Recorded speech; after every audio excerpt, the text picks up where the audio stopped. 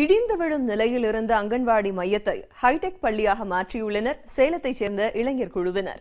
தனியார் பள்ளிகளை மிஞ்சும் வசதிகளால் குழந்தைகளை பள்ளியில் சேர்க்க பெற்றோர் அதிக ஆர்வம் காட்டுகின்றனர். இது பற்றிய ஒரு செய்தி தொகுப்பு இப்போது.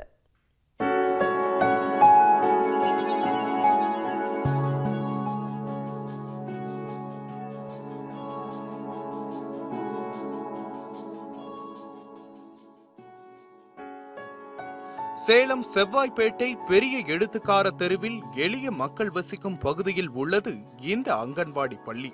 மிகவும் பழுதடைந்த நிலையில் எப்போது இடிந்து விழுமோ என்ற நிலையில் செயல்பட்டு வந்த இந்த பள்ளியில் பத்திற்கும் மேற்பட்ட குழந்தைகள் படித்து வந்தனர். இந்த பள்ளி எப்படி இருந்தது என இங்கு பணியாற்றும் உதவியாளர் கூறுகிறார். நிறைய எலி தொல்லைனால பொந்து அதிகமாக இருந்தது. டெய்லியும் காலையில் காலையில் பார்த்தீங்கன்னா மண்ணை குமிச்சு வச்சிருந்த எலி. நாங்கள் வந்து அதெல்லாம் அள்ளி கொட்டிட்டு தான் அதுக்கப்புறம் தான் வேறு வேலையை எந்த வேலையாக தான் பார்க்க முடியும். காலையில் வரும்பொழுதே பயந்துட்டே வருவேன். இந்த ஸ்கூல் எப்படி இருக்குதோ தெரியலையே இன்றைக்கி போனால் அப்படின்னு சொல்லி பயந்துகிட்டே வருவோம். மழை வந்தால் ஒழுவோம். நிறைய கிணறு கிச்சனில் ஓப்பனில் இருந்தது.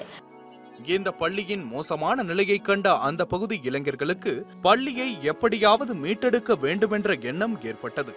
பல லட்சம் ரூபாய் செலவில் புனரமைக்க முடிவு செய்து அரசிடம் முறைப்படி அனுமதி பெற்று தங்களுக்குள்ளேயே குறிப்பிட்ட தொகையை வசூல் செய்து பள்ளியை பழுது பார்க்கும் பணிகளை துவங்கினர். பழுதடைந்த இந்த அங்கன்வாடி பள்ளியை ஒரு தனியார் கிண்டர் கார்டன் பள்ளி போல மாற்றியமைத்து அசத்தியுள்ளனர் இந்த இளைஞர்கள்.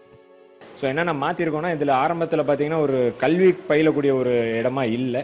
டோட்டலாகவே அதை வந்து மாடிஃபை பண்ணியிருக்கோம்.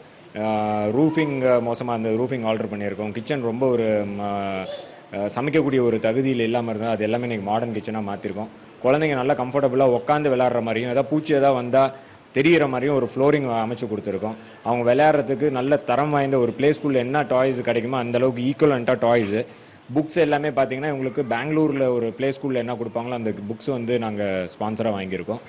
தனியார் கிண்டர் கார்டன் போல அங்கன்வாடி மையம் மேம்படுத்தப்பட்டுள்ளதால் தற்போது தங்கள் குழந்தைகளை சேர்க்க பெற்றோர்கள் அதிக ஆர்வம் காட்டி வருகின்றனர். இது தவிர அங்கன்வாடியை ஒட்டியுள்ள ஆரம்ப பள்ளியையும் புனரமைத்து மேம்படுத்த நடவடிக்கை எடுக்கப் போவதாகவும் தெரிவித்துள்ளனர் இந்த இளைஞர்கள்.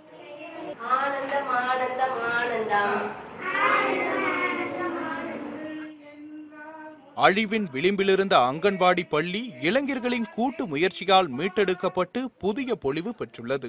சமூக நோக்கோடு செயல்படும் இந்த இளைஞர்கள் மற்றவர்களுக்கு ஒரு முன் உதாரணம்.